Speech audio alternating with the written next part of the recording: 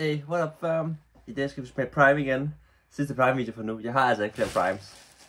Tom pose, jeg havde kun tre. De havde ikke glemt at lime. Den kan også godt at smage.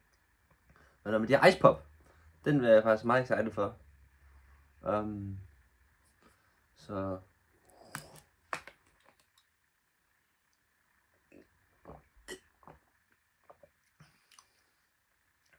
Åh, oh, mand, den er god.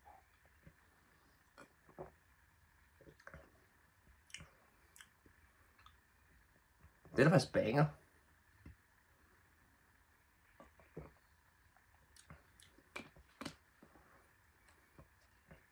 Det skal jeg have flere, det skal jeg have flere af. Det er da faktisk banger. Altså, den her, den er, den er, den er okay. Den her, den er, hvad hedder, den er frodet nok. Den her, den er banger. Det kan jeg faktisk godt lide. Hvor meget sukker er det i det her? Det er spørgsmålet.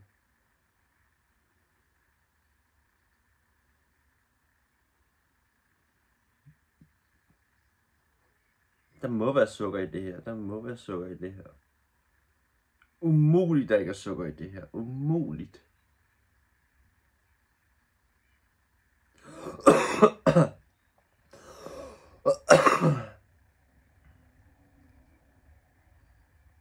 Umuligt. Altså man kan ikke gemme dem. Hvis du åbner dem, så kan du ikke have dem mere end tre dage. Så... Ja.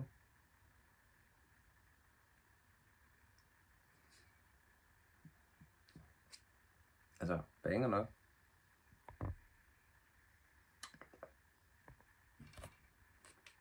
Altså, det, altså den her vil jeg gerne give...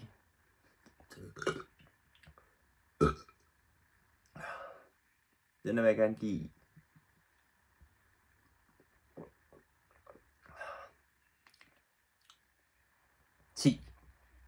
Altså, det er ikke bedre end Monner, men jeg kan... Jeg, jeg tror faktisk, jeg, vil, jeg tror faktisk, jeg godt kunne finde på at købe de her, de, de her igen. Kunne finde på at købe, købe, kunne finde på at købe Prime igen? Ja, faktisk, faktisk. 10. Og det er ikke biased, ved du, jeg, jeg laver en Prime-skala, ved du, Monner, Superior, Superior selvfølgelig ikke. I forhold til Monner, ikke, så, det er, så, så, så, så, så, så er det ikke til at sammenligne, men du, kan ikke, så, du skal ikke sammenligne det her med, det her med, med Monster, hvad det hedder.